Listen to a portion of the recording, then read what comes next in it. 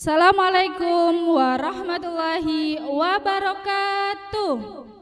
Semangat pagi untuk kita semua, untuk keluarga kreatif 20, untuk adik-adik tersayang dari TK se Surabaya dalam ajang Creative Fun Competition sesi 2. Alhamdulillah di pagi hari ini kita akan mencari bakat dari adik-adik kita dari TK se-Surabaya yaitu dalam ajang lomba menyanyi.